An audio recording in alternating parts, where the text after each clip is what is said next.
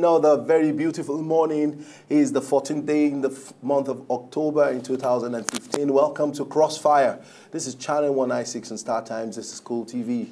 I have Ishoma Againe in the studio with me, and we definitely will be working together as usual. Ishama, good morning. Good How morning, are you? countrymen, and welcome to another beautiful day. All right, it's been a very rainy Wednesday, and I know that a lot of people are finding it difficult to even get to their various destinations. It took me a while to even get to work, and it took a lot of people, I mean, either work to just get to their various destinations. But notwithstanding, just take it cool. It doesn't matter what time anymore on a day like this. It just matters that you get to wherever you are going in one piece. Now, we have a very fantastic uh, package for you this morning, and then we quickly will be running it uh, because of time. Now, before we go on, we have a gentleman in our midst, and we will be narrowing down today on the internally displaced persons in Nigeria. Now, we have someone who has a very first-hand experience of what IDP camps can be. But this happened all the way in Cameroon, or a border between Cameroon and Nigeria where we have well over 50,000 supposed Nigerians who have been displaced, and yet the Nigerian government, the Cameroonian government, have not been doing anything to ensure that life is meaningful for these people. We'll be getting details as we go on on the show. Now, but let me quickly run a couple of uh, viral news and viral stories, you know, that you might really be interested in. Now, yesterday, something really very dramatic as expected happened when the Senate actually screened about 10 nominees um, yesterday. Now, um, it is important to quickly uh, bring you up to speed on some of the things that happened you know, at the Senate yesterday. Now, we have only 10 nominees that were screened yesterday by the Senate. They are Udoma, Udo Udoma. We have Kayode Fayemi. We have Audu Ogbe. We have Ogbonnaya Onu. We have Osagie um, That's a doctor from Edo State. And Abra, Abdul Rahman um, Dambazau. And then others are Alhaji, um, I mean, Chief whatever you want to call him, Lai Mohammed. His case was extremely dramatic at the Senate yesterday, and eventually he went away with it because he took a bow and he left. Now we have one fantastic woman who dazzled everybody at the Senate yesterday, Amina Mohammed, and then we have Sulaiman Adams, and then we have Ibrahim Jubrin. Others will be screened today and tomorrow. Now, the expectations that were not met yesterday were such that Rotimi Amaechi was particularly slated to be interviewed yesterday, but it could not happen because the clearance that was supposed to be given by CCB, who met with him and clarified him, I mean, a, a few days before, the report never got to the Senate. Anyway, hopefully we may be witnessing an Amaechi being uh, screened today at the Senate. And then let me quickly run through a couple of stories um, that may interest you also. Now, on a very sad note, we have three huge explosions rocked Maiduguri um, yesterday. And uh, the locals and the Red Cross, I mean, witnessed that particular incident, and believe you me, lives were involved, and it was really a very devastating, um, um, you know, explosion uh, yesterday. Now, panic happened in Okene, uh, all the way in Kogi State, as 10 people died in a gun battle. I, I, mean, we don't have full report as to what really, you know, culminates into this, but uh, residents in Okene have confirmed that there was an intense gunshot all through the night between security operatives of the Nigerian Army and fundamentalists in Okene local government area of Kogi State. Now, 10 of the fundamentals were reportedly killed, while some soldiers sustained serious injuries and were taken to the Federal Medical Center in Lokoja for treatment. Now, that's another one. Now, uh, another very quick one is to let you know that um, there was a tragedy two years after the tragic, um, you know, incident of the Nigerian Immigration um, Service recruitment. The permanent secretary of, of the Ministry of Interior, Alhaji Abubakar Magaji, has disclosed the reason behind all the promises that the former president, Goodluck Jonathan, made to the families of the deceased during that particular rampage in Abuja, and nothing has been done up till now. And this um, uh, Alhaji uh, Abubakar Magaji came out really very strong to say the past administration promised only by mouth. There were no documentation to back all the promises they made to the family of the deceased. And that's a very, very unfortunate situation. Now, another one is the ministerial screening that will be happening today. Don't forget, we have fantastic candidates that will be screened today, and believe you me, it's something you don't want to miss. We have uh, Babatunde Raji Fashola coming on board. We have Rotimi Amaechi coming on board, and then don't forget, we have another person who is really, um, you know, uh, very controversial, and people are looking at what will happen when eventually he came on board too, and that's um, um, Olagunsoye Oyinlola, who happens to be in the second batch of the uh, list of the nominees submitted by the president, and that's the, in the 16-man list. And uh, let, us give you this last one, and then we go ahead into uh, our major, major, major um, stories today. Now I'm doing um, a juggling in my head. Which of the stories should I pick? Which of the stories should I pick? But uh, notwithstanding, let's just go on here. Now, um, like I said, we have a very quick business to do. We have a gentleman who is in the studio with us, and is no other person uh, but someone who actually had a life, you know, experience. I mean, this is a life experience. He was there, he saw it, he suffered for it, and he took the power of the social media, which we definitely will be narrowing down or talk about today on the on this episode, and then we definitely will, you know, be on, you know, unraveling and unveiling a couple of things that are happening that Nigerians really do not know. Let's welcome Simon Ateba to our studio. Simon, good morning. You're welcome. How are you doing today? A handshake for you. You know, every time I see you, I want to give you a handshake because it's really very nice to confirm that you are still around, that you are here, that yeah, um, it's the real you that uh, you know that we are seeing, and all of that. Now, we brought Simon on the show some time ago, and that was before the release of the publication, the report that he was able to put together on IDPs you know, in Cameroon. And, and believe you me, it's, this is a story you really want to be a part of. Now, um, Simon, let's quickly take a background. I knew that you were funded by an organization to carry out an investigative journalism on a particular field of endeavor, and you eventually got their support and you went. Just tell us the short story so that I will, okay. I'm very sure you know the story much more than me. Okay, I knew that there were some refugees in Cameroon, like almost 50,000 Nigerian refugees are in a camp called the Minawao camp. And can, can you say that again? Minawao. Minawao. Yeah, camp. Minawao camp. It's okay. almost 70 kilometers from the border between the Nigerian border and is in Cameroon northeast, in, in Cameroon far north, mm. and in the northern, northeastern part of Nigeria. And I wanted to do that story because, you know, these are refugees, these are people who needed help. And so I got funding from the International Center for Investigative Reporting. And I got there, I got arrested, and I spent four days in, in a cell. And, but I've been able to write the report, and the report was published in the Nation newspapers um, a couple of days ago. Why were you arrested, Sam? Let's, uh, I mean, let's just put it in perspective. Yeah, Why were you arrested? I was arrested because they, they said I didn't have the proper permit to to carry out your, to, I mean, to do a report yeah, on? To, to, to enter the refugee camp. Okay. And, and so they thought I was a Boko Haram spy, and they had to interview me, interrogate me. The State Security Service, they asked me questions several times, are you a spy for Boko Haram? I said, no. So you are not a spy for Boko Haram? I said, no. I'm not a spy for Boko Haram, ISIS, or any other terror organization.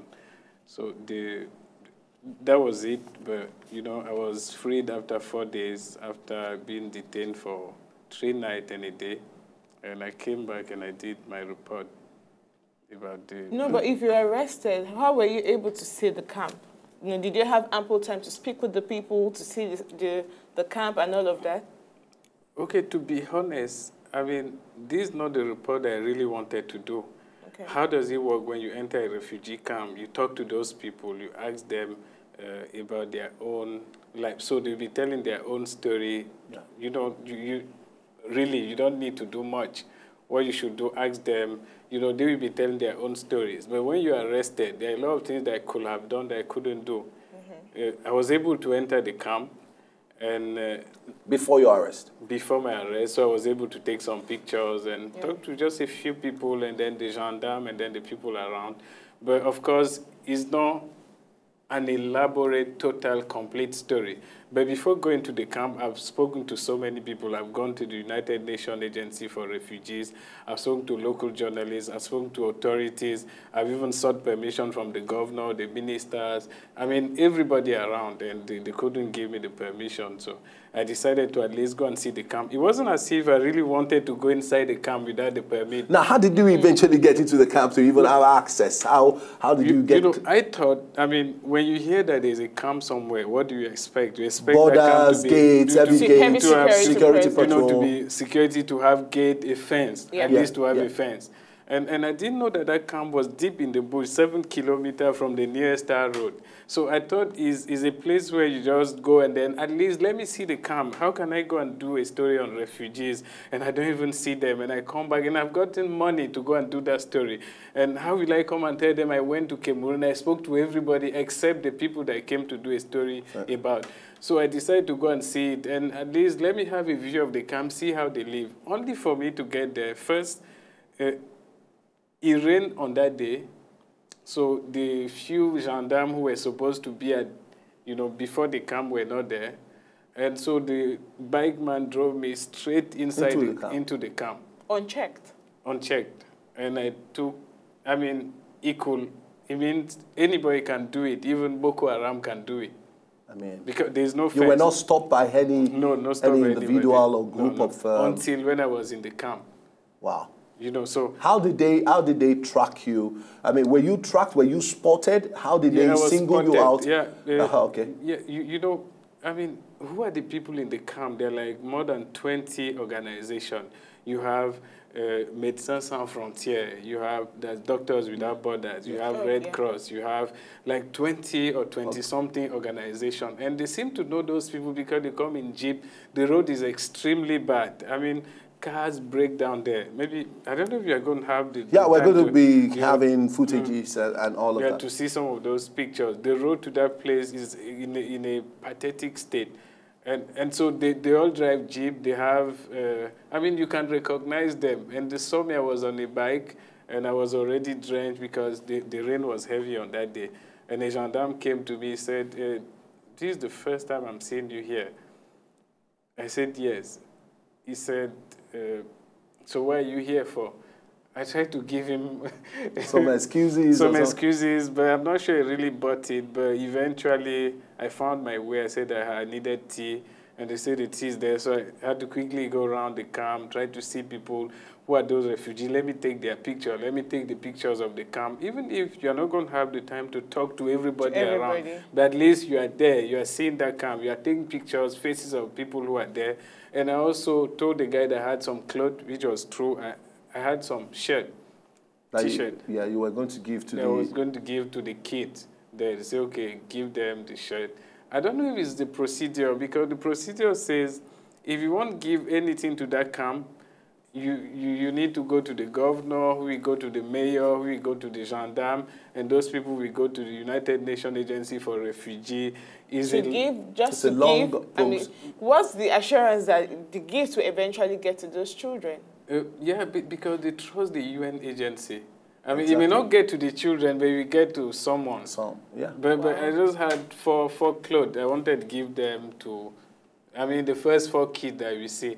And if we get to see the pictures, We'll see the pictures. yeah, you- you're going to see me with, you know, those kids. and But the main thing, I don't know if we are talking about it yet, but the main thing is that those people really need our assistance.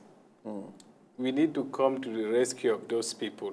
Yeah, just, just trying to lay, you know, a foundation for it. Now, on what basis, when eventually, uh, how were you arrested? I mean, you, you met with one of them who allowed you to still go get tea, take some pictures and all of that. Actually, the, the, I mean, you'd be technically wrong to say that he allowed me.